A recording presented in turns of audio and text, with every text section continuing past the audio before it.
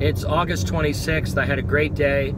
I was in Rock Hill, South Carolina for one of my Make a Difference live events. Uh, I think it's number 562. Got up and went to the Cracker Barrel for breakfast, and as I walked in, there were five sheriff's officers sitting at a table. Two of them were superior officers, and uh, the rest were just plain deputies. And I, I said, Excuse me, can I interrupt your breakfast? And they were like, Sure. And I said, uh, my name is Don Sunshine. I said I was a police officer on a SWAT team in New Jersey. And uh, I said I'd, I'd, like to share something with you guys if I could and pray for your safety. And they were like, oh, yeah, yeah, that'd be great.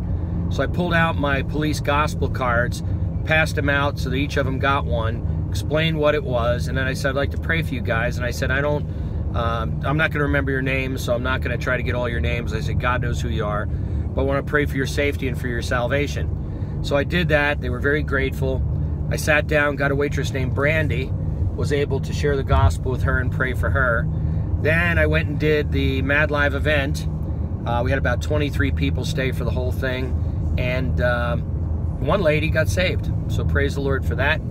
Then on the way home, I stopped and had dinner and had a waitress named Kendry, and I got to share the gospel with her and pray for her daughter and granddaughter.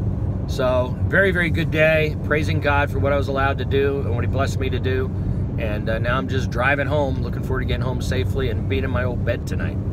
Talk to you soon. Bye.